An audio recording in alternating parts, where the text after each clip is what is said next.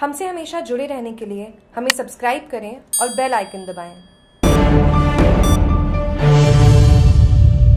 अवैध खनन हफ़्ता वसूली पर उठते सवालों पर क्या है आखिर, क्या है वजह लेडी सिंगम गीता सिंह ने खनन माफिया पर कस रही लगाम जब कहते हैं कि आपको अगर सत्य के रास्ते पर कर ईमानदारी से अगर आपको काम करना है जनता के लिए तो आपको कई आरोपों से गुजरना पड़ता है और आपकी मानसिकता से परेशान होना पड़ता है। हम बात कर रहे हैं अनादरा की पहली महिला थाना अधिकारी गीता सिंह की, जो एक लेडी सिंगम बनकर खनन माफिया के अवैध धंधे बंद क्या हुए, उनका मानो सब कुछ दाव पर लग गया हो। इसलिए झूठे आरोपों की एक के बाद एक आरोप लगते चालू हुए और खनन माफिया का एक ही मकसद है कैसे भी कर लेडी सिंगम का अनादरा से तबादला हो और फिर अपना अवैध खनन आराम से करेंगे? मगर जनता बोली हम करेंगे आंदोलन। अगर मैडम के गलत हुआ तो क्या कहते हैं लोग?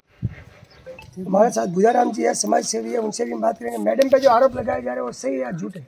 वो एकदम गलत है। गलत है। क्यों गलत है? कि मैडम यहाँ पर हर एक को किसी को परेशान नहीं कर रही है।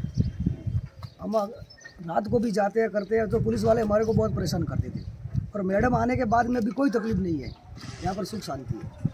और जो आरोप लगाया जो वो लोग हैं तो वो तो उनके मतलब कोई नहीं बन व्यक्तिगत कोई मामला होगा तो उसके बारे में वो कर सकते हैं तो उसका तो हम क्या करें? लेकिन मैडम सही है। के जी मेघवाल है उनसे भी करेंगे। कालाराम जी जो नारा थाने अधिकारी गीता सिंह जी पे आरोप लगाए जा रहे हैं हफ़्ता वसूली के और खबरें भी चल उसमें आप यहाँ के लोकल है उसमें आप क्या कहेंगे? हमें जो मैडम के ऊपर आरोप लगा रहे उसके बारे में हमें कोई ज़्यादा जानकारी नहीं है, ये सब सोशल मीडिया पर ज़्यादा वो हो रहा है। ऐसा हमें कोई लगभग लोग ऐसे कोई नहीं जानते हैं कि मैडम के ऊपर आरोप लगा रहे मैडम है ना, बहुत ही एक बहुत ही सुलझी हुई महिला ऑफिसर है। सबसे अच्छी बात है ये है, लगभग छः सात महीने पहले इनका यहाँ ट्रांसफ़र हुआ था। तो एक लोगों की उम्मीद जगी थी कि एक अच्छी महिला अपने को थानेदार मिलेगी। तो मैडम ने यहाँ पर विशेषकर महिलाओं के लिए महिलाओं के लिए कई बार हम थाने में देखते हैं तो महिलाओं के लिए महिला सखी वगैरह ऐसे कार्यक्रम चलाते हैं। हमें इसके बारे में कोई ऐसा नहीं लग रहा है। लगभग आम जन खुश है। लगभग हर प्रकार का वर्ग है जो ग्रामीण परिवेश है। ये पूरा इलाका एस और एसटी का है। लगभग ज़्यादातर लोग एस सी एस के लेते रहते हैं। और सब लगभग कुल मिलाकर मैं ये कहूँगा कि हमें कोई लगभग आपत्ति नहीं है। मैडम से लगभग यहाँ की जनता खुश है। कानून व्यवस्था से बहुत खुश है। ये भी बोल रहा है कि कानून व्यवस्था से खुश है और मैडम से ही। है साथ है पूर्व सरपंच पामेला के भिकाराम जी चौधरी। भिकाराम जी जो मैडम के ऊपर आरोप लगाए जा रहे हैं हफ़्ता वसूली के, और बार बार पैसा किया जा रहा तो क्या सही है या गलत है? बिल्कुल ही झूठा है। ये खनिज माफिया और बजरी माफिया और जो दो नंबर के धंधे वाले हैं ना, उनके ऊपर नकेल कसती है। और रात को फ़ोन किया, कोई भी गरीब आदमी फ़ोन किया तो पाँच दस मिनट में तो हाजिर हो जाती है और पूरी ईमानदारी से काम कर रही है। और इनके खिलाफ कोई कार्रवाई गलत हुई आज में उनको हटाया गया तो हम पूरा एरिया के आंदोलन लोग मैडम के साथ है और आंदोलन तक धमकियाँ दे रहे हैं और हम लोगों से बात करेंगे कि वो क्या चाहते हैं। अनादरा सरपंच प्रतिनिधि राजेंद्र सिंह जी सोलंकी है उनसे भी बात करेंगे। सर जो मैडम के ऊपर आरोप लगा रहे हैं हफ़्ता वसूली के एक के बाद ये एक उसमें आप क्या कहेंगे?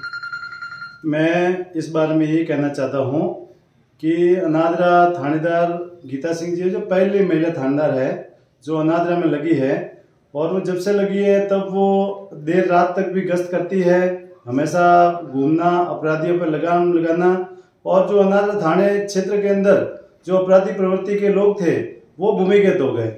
और उन्हीं लोगों में से कुछ लोग जो अवैध काम करते हुए पकड़े गए, और उसके अंदर वो उसको थानेदार को इन किन प्रकार से हटाने के लिए कुछ न कुछ हमेशा नए टोटके कर रहे हैं और वो अधिकारियों के ऊपर जाकर दबाव बनाते हैं कि किसी भी तरह से थानदार झुक जाए और डर जाए जो उससे हमारा जो काला कारोबार है वो चलता रहे।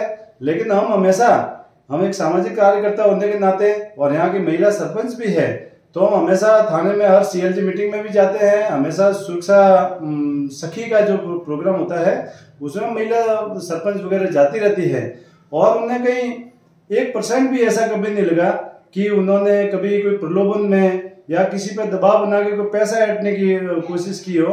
उन्होंने उल्टा जो यहाँ के जो असामाजिक तत्व थे, उन पे लगाम लगाई है और हमेशा असामाजिक तत्व पे लगाम लगेगी तो वो एक ग्रुप बना करके, वो हमेशा किसी भी अधिकारी के खिलाफ में योजनाबद्ध रूप से बड़े चालाकी के साथ में एक प्रोग्राम चलाते हैं। और मैं ये कहता हूँ कि इस तरह से ऐसे ईमानदार अधिकारियों के खिलाफ में यदि कोई विभाग भी कोई कार्रवाई करता है तो शायद उनका, उनको हतोत्साहित करने की कोशिश होगी। तो मैं तो यही कहूँगा कि ऐसे लोगों पर कोई ध्यान नहीं दिया जाए। और जो ऐसे लोग, उनका महिलाओं का फ़ोटो वगैरह दे करके उन पर अनर्गल आरोप लगाते हैं। अथवा जो ट्रैक्टर ट्रॉलियाँ वगैरह मान लो रेस से भरकर वो वीडियो में बताते हैं कि ये भरी जा रही है तो उनको भी पकड़ करके और उनके खिलाफ में पूछताछ की जाए और उनका जो मोबाइल वगैरह चेक किए जाए तो शायद वो सब पूरी गैंग पकड़ में आ जाएगी और उनके खिलाफ में सख्त कार्रवाई की जा सकती है। धन्यवाद। राजेंद्र सिंह ने बोला है और अब अधिकारियों को देखना है कि जनता की जो मांग है वो मानती है या जो अवैध खनन के माफिया जो आरोप लगा रहे हैं, उनकी मानते हैं। हमारे साथ गुलाबगंज के उप सरपंच दीपाराम जी चौधरी है। दीपाराम जी जो, मैडम के ऊपर आरोप लगाए जा रहे हैं हत्या वसूली के। तो क्या ये सही है गलत है? ये सरासर गलत है। लोग झूठे आरोप लगा रहे हैं। ऐसी मैडम कभी आई नहीं और पहली बार कानून व्यवस्था में एकदम स्टिक है जो दो नंबर के धंधे करते हैं उनके खिलाफ एक्शन लिया जा रहा है। तो ये मैडम के ऊपर आरोप लगाए जा रहे हैं और ऐसी मैडम को अगर प्रशासन द्वारा हटाई जाती है तो हम लगभग गाँव के सभी लोग इकट्ठे होकर आंदोलन करेंगे। इसमें कोई शक नहीं है। क्या कमरा भाई साहब?